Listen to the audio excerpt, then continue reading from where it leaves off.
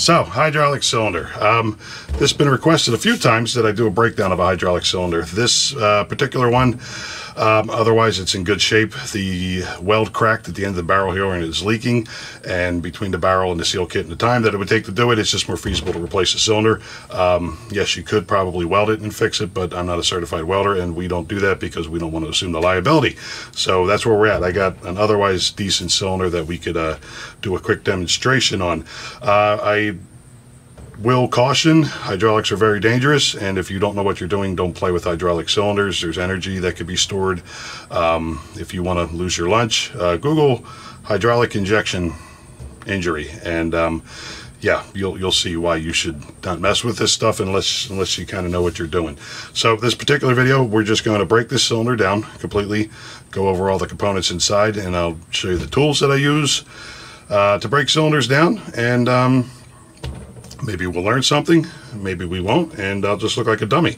So um, yeah let's get into that. We'll start with pulling the uh, pulling the gland off and uh, we'll, we'll show the tools that are involved in that little procedure. So to start off we'll go with the most common style cylinder I see at least um, which you would have to remove the gland with a pin spanner. And basically what happens is there's two little two or four little holes usually 90 degrees off or 180 degrees off and you would take this here pin spanner right there and you'd stick it in the holes and you would use that to wrench on the um, the gland. Uh, these particular ones are Blue-Point. You can see right there. Um, you don't need Blue-Point. Blue point mostly is just rebranded tools. Uh, pretty much anything you could find on Amazon that seems like it's pretty decent will work for these. Now moving on um, we have these style hook wrenches which are the ones that are actually intended for this style cylinder um, I just keep this uh, small and this uh, larger one. Um, these are the only sizes I ever really needed for doing what I do. And basically the way this works is this little little hook right there um, that would clamp onto the end of the cylinder into this this little groove. And uh, yeah, you would use that to loosen the cylinder. Um, as far as success goes with these and these, um, it, it, it, it, varies. Sometimes you get lucky and these work, and sometimes they don't, which will lead me to my next tool. And here is the end-all be-all, which is the pipe wrench. Um, these work when when nothing else does. Um, most most uh, people who have any experience with hydraulic cylinders usually end up going to a pipe wrench. These particular ones are Snap-on uh, PWZ3 and these are PWZ2s I, I guess. And the, these are the best pipe wrenches I've ever used bar none hands down. Um, you're not going to change my mind. Uh, these things are great. Uh, this particular one I've done up to six inch cylinders on and if this doesn't get it loose nothing else will. So um, these these um, pipe wrenches are made by a company named Bahco. I can't remember the actual name of it, but it's a company that Snap-on owns that Snap-on rebrands. Um, I'm sure these these two wrenches right here probably cost me uh, close to $200 when I bought them, and um, they're they're half price if you buy the Bahco brand. Uh, I can't I can't remember the name of the name of them, but yeah, if you buy that if you buy that particular brand, they're probably going to be at least half the price. Um, uh, even if they're half the price, they're they're worth every every cent, especially if you're doing a lot of a lot of stuff like this. So I would highly recommend getting getting a good set of pipe wrenches if you're going to be doing these. I will link these if I could find them on Amazon. I'll link them in the uh, description there. So if you're interested, you can take a look at these. Now, I, I would say the place where hydraulic cylinders vary the most as far as disassembly goes is the gland end, which is this little cap that holds holds everything in there. Uh, this particular one, like I said, is meant for the, um, the little hook wrench here. Um, I said the other ones, some of them use the little little pin spanners. Um, like I said, there's so many different different ways of these cylinders coming apart. Some of them will actually have a set screw in them. Make sure you get that out before you start twisting it because um, that would cause problems if you didn't remove that.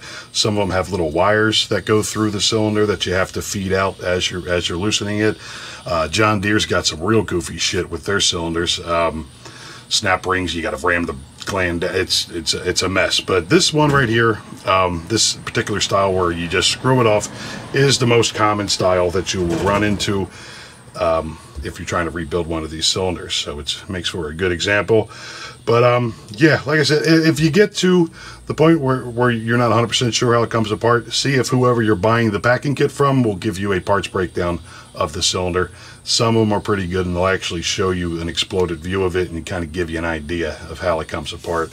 Or you can just go on YouTube and find some jerk off like me who's already done it and he'll show you how to do it. So let's get this thing mounted up, mounted up in the vise and um, we'll uh, crack this bad boy loose and start start pulling it apart. One, one thing I did forget to mention, um, if you do have to break a cylinder uh, gland loose, um, it's better to do it in the machine with the pin still in it. Just crack it loose. You know, you got your your hoses plugged off and it's not hooked up to the machine anymore. There's not any weight left on it and it's just sitting there freely. Um, reason being is the pins are the best vice you'll get for uh, cracking one of these loose because, you know, that's what they're there for, to hold this thing in place. So, um, like I said, if, if you got a good pipe vise, that works, but I'm a road guy and I don't necessarily have one of those available to me, especially with the limited space in my van. I try not to carry more tools than I, than I need to on a regular basis. So let's try the right way first and we'll get into more creative ways to crack this thing loose. Um, hopefully the camera doesn't bounce too much when I'm when I'm beating on this thing. So uh, yeah, let's get into that.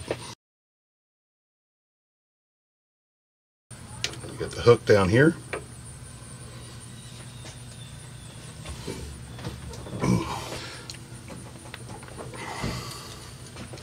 Let's try some percussive persuasion. Did it come?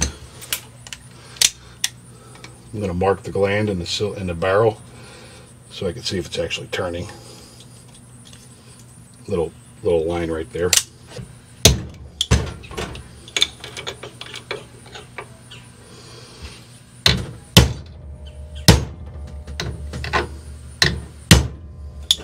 Got a punch, we're going to stick it here, whack it with this guy.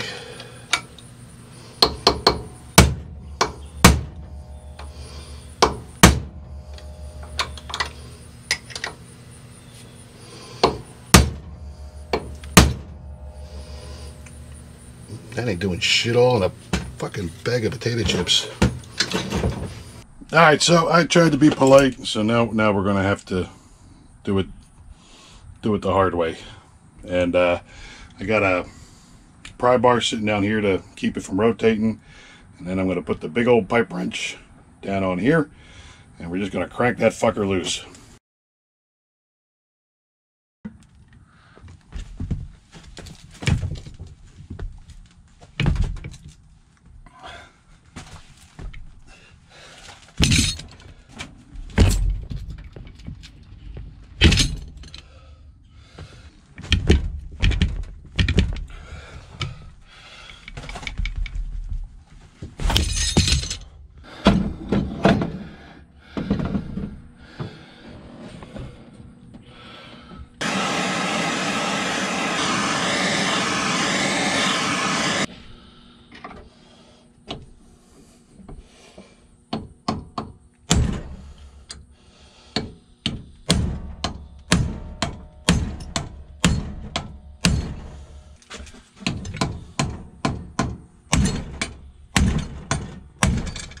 So we, we got it all apart. Um, we had some some casualties of war right here. Uh, don't worry about that. That'll that'll buff right out with a with a little angle grinder. And uh, we got to take this here nut off, which is just a um, castle nut with it with a cotter pin going through it. So that shouldn't be too bad.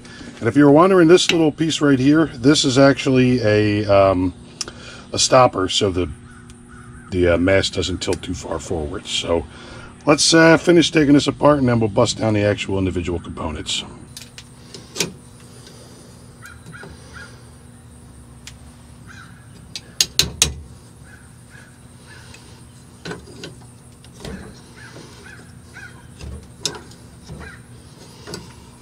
I'm grabbing it with the crimper part, uh, just in case you're wondering.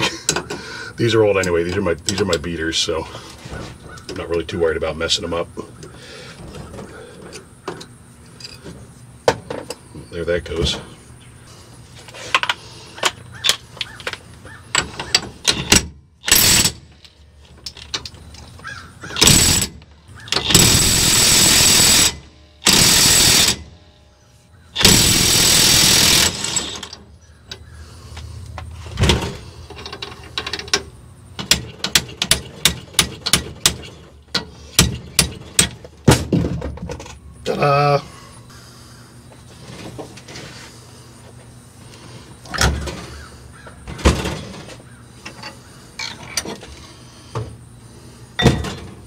So there we go. I'm not sure how much of that we got. Um, uh, my, my neighbor decided to come over and give me a little chit chat and I think I hit stop when I hit record and record when I hit stop so I missed a little bit of it um, like I said this I mean probably the hardest one I've had to come apart in a long time and of course it had to be on video so you, got the full the full uh, sensation there uh, I did end up putting a little bit of heat on the end of the barrel um, I cautiously used heat when I'm taking apart cylinders, and the reason is is because if you un, if you heat this barrel unevenly and you get it like hot hot, what'll happen is is as you're trying to twist it loose, some spots will be hotter and some spots will be cooler. And I know people are, oh, I could I could heat it evenly. You don't know because you, you don't have infrared vision.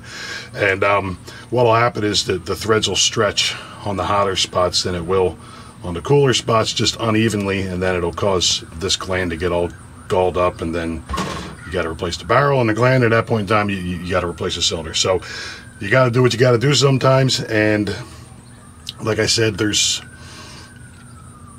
do it with caution is, is what I'm getting at. I'm not saying you shouldn't do it I'm just saying be careful when you're doing it. So this is cylinder completely broken down. We got the barrel end uh, that's the part with the cracked weld uh, this would be considered the rod right here. And that's just got a, um, a chrome finish on it to keep, uh, keep it from rusting. Uh, this, like I said, this is just a spacer to keep the mast from tilting too far forward. It just floats in there. It does nothing aside from be a spacer. Uh, this would be your piston. Your piston goes on the end down here and the hydraulic oil pushes on this side, pushes that rod this way, and when it pushes on this side, it pushes that rod this way and that's where the, uh, the two hydraulic uh, lines hook up to the cylinder. Uh, this is your gland end. This is nine times out of ten this is what is why you're looking at one of these cylinders and the reason being is because these are these are where they leak um, outside here we got the different seals that well we'll talk about those as we pull them out of there but um, yeah, so let me get some tools together. We'll start pulling these seals apart, get some shit out of the way so we can lay stuff out, and uh, we'll do that. All right, so let's start off with the, the easy one, and that's the piston right here. Um, there is a seal down here. It's actually an O-ring on the bottom of the rod, and that just keeps the oil from slipping past here, slipping past the piston, and causing the cylinder to internally leak. Um, these are Snap-on um, hydraulic seal guess it'd be picks, um, pry bars, whatever whatever you want to call them. I got these from Snap-on years ago. Uh, so long ago that actually there is a part number there. It's uh, PAK 562770. Uh, these are great. I've had these for years. Um, you could probably go on Amazon and get something just as good. The key feature with these is that there's no sharp edges on anything and um, you're less likely to damage a seal putting it in or taking it out with one of these. You can use a small flathead screwdriver. Um, no problem with that. You just got to be extra careful. Like I said, with these, I just like these because they're, they're nice and easy. You can slip them up underneath the, the, um, the seals and O-rings. You don't have to worry about ripping them. And I'm always really careful taking, taking O-rings off just in case I screw up putting one of the ones back in and uh, yeah, that's it. So the actual piston here, uh, this is a fairly simple one.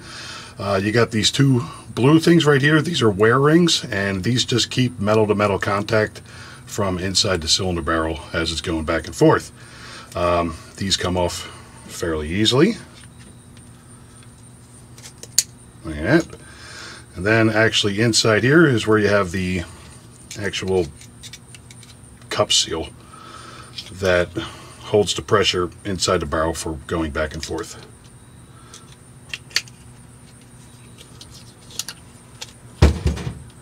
There you go. And now this is a bi-directional seal, so this particular seal doesn't have a direction. Some seals you do, like the one in here, we'll show you that. And um, yeah, so this one doesn't have a direction. Always be careful when you're pulling this stuff apart to make sure you're watching as it comes apart just to make sure that there's not a specific way they need to go back in. And I always like to do, just as a matter of habit, even though I know, when I take the old stuff apart, I just kind of stack it up the way I took it apart so that way there, if I get confused putting it back together, I, I kind of know how I took it apart. Now, the gland end. This is usually the culprit, like I said, to, uh, to all your problems. Uh, this particular one has a O-ring at the bottom, and it also has a wear ring. Not a wear ring, Jesus, good lord. Uh, backup ring on the bottom here, which I just ripped, taking off. I said, be careful. But the backup ring, actually I didn't rip it. That's actually two. That's actually uh, split in half, so I don't feel so bad. But um, whenever you have a backup ring and an O-ring like this, the O-ring goes towards the pressure and the backup ring's on the opposite side of it. And the backup ring just kind of gives the O-ring support, for lack of a better description. So got that. Now on the top here, this is what they call a wiper seal. And essentially what this does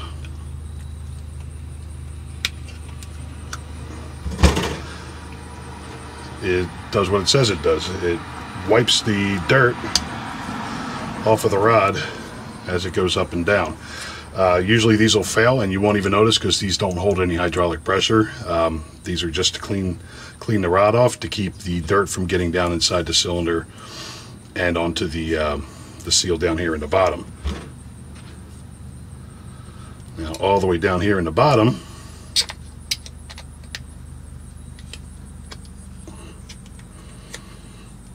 we got a cup seal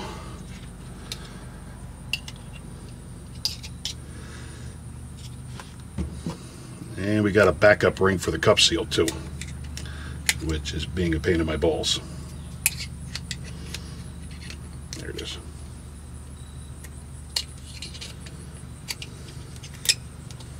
Right here.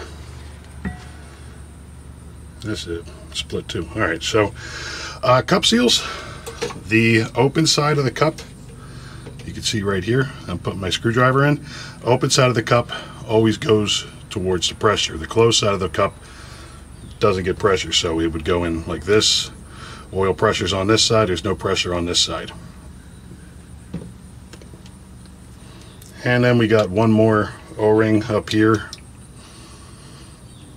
which doesn't necessarily hold pressure, but holds the dirt out of the top of the gland. And that goes on the top. But I mean, you can see, like I said, the way you can see how you could easily get some of these O-rings confused with each other and these seals and that's why I always say take it apart and put it out in a nice nice way where you could uh, lay it out so you know how you so you know how you took it apart. And another thing I didn't mention too I always do cylinders on pig mats like this just so stuff stays clean because you don't want to get dirt and grime into this stuff and cause problems down the road. Nothing's worse than having to do it twice now, as far as reassembly goes, um, it's just backwards of what you just did. Um, I will make some some points to say with any of these seals, you kind of want them to be a little bit wet. Normally I would dry these off and spray them down with brake clean to make sure they were good and clean, but this cylinder is never going to function again. But normally I'll give a little bit of coat of oil on these cylinders or these cylinder parts before I reassemble them just to make sure everything make sure everything doesn't pinch when you're putting it together and you don't overstretch an o-ring because sometimes you could pry a little too hard and it makes it big and then it doesn't want to go back down to its shape. And um, you know these wear rings some of these wear rings these are some type of plastic.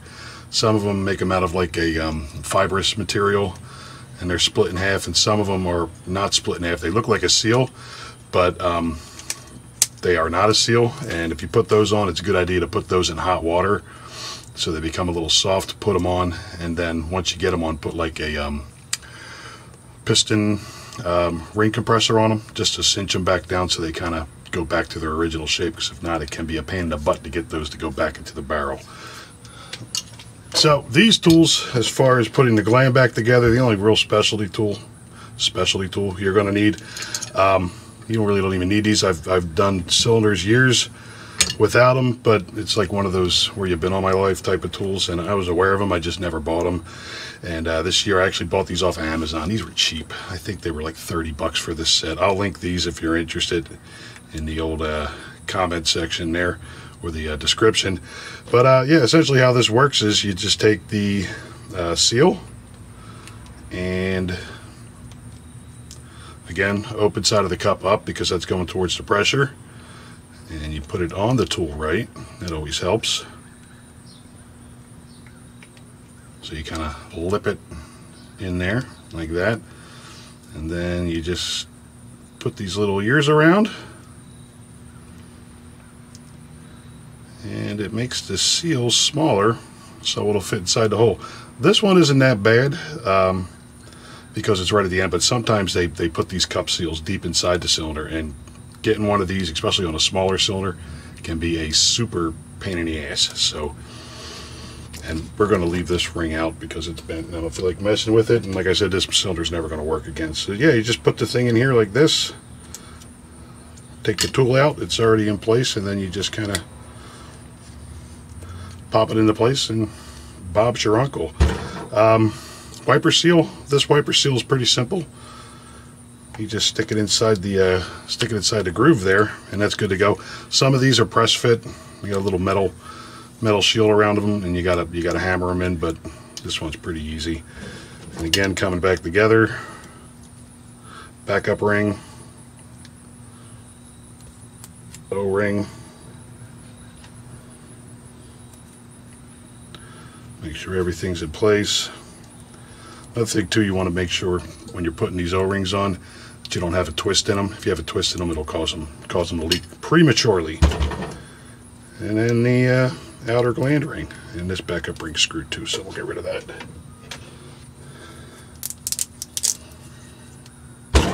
And that's it as far as the seals go. Um, yeah, that's, I didn't miss anything, so we're cool. Oh, wait, I forgot that O-ring right there. Again, this thing's never going to run again, so I'm a little, usually a little more careful with these. So at this point in time, you know, we're ready to go back together. Um, normally what you want to do, I keep this little oil can I got from Harbor Freight. It's like five bucks, I think, for it. And I would kind of give a little coating of oil on the rod. And I'd give the, the seals a little bit of juice just to keep anything from binding when I'm putting it back together and, and ripping seals. Um, one thing you do need to keep in mind when you're when you're putting these things back together excessive force is not your friend. So if you're pushing too hard, you're probably going to rip a seal. So keep that in mind.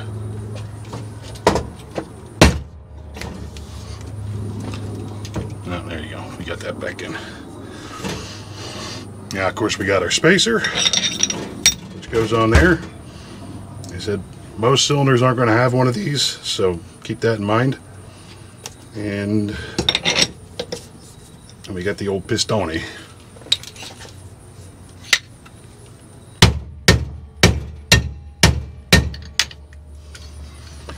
Which I don't feel like fighting with getting on.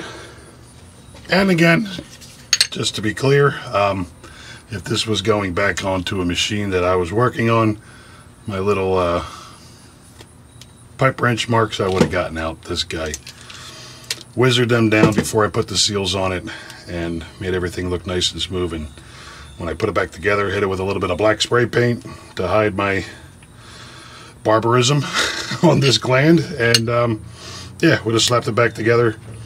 Put this inside the barrel, which is over here. Again, put the barrel, a little bit of um, a little bit of oil down inside there to help everything get lubricated. And I would have also came through here and cleaned these threads out just to make everything go back together. Uh, as far as Loctite on these um, on these threads, if it's not on any on it, when I take it out, I'm not putting any back on it when I put it back together. Um, I find most most of these don't have any Loctite on them because it's just such a pain in the ass, and there's no rotational force on this cylinder, so technically it really shouldn't come loose. So I think that's probably why they usually don't do it. But like I said, even if, if there was Loctite on it, I would put it on very sparingly just so the next guy didn't have to beat his head in to get it apart. So that is a, a quick video about hydraulic cylinders, as quick as I can make it. Hopefully it's not too long. Uh, there's a lot to these things, like I said in the beginning of the video. I, I just can't go into all of it and make this video um, not two hours long. Um, we went over seals, generally how they how they work, where they go, uh, tips and tricks taking these things apart, and some tools. The tools, like I said, if I can find them on Amazon, I will link them down in the comments. Um, I only link tools that I've I've used before and I like, or stuff that I'm trying, and you know it's from a trusted brand. So uh, I'm not trying to sell tools here, but people always ask for links, so there you go. I'm giving links. Um, as far as the microphone goes, I noticed in my last video, this microphone picks up just about every single breath I take, and it sounds like I'm gasping for air. I assure you, I am not. Um, I'm a bit of a mouth breather because when I was 16, I broke my nose. Um, nothing cool like being in a fight. I walked into a door like a jackass. So I'm trying to consciously not huff and puff into this microphone. So uh, we'll see how that turns out. I haven't edited this thing yet, but um, yeah. So that's it. Um, as always, any questions, drop them down in the comments. Um, thanks for watching, and we'll catch you next time.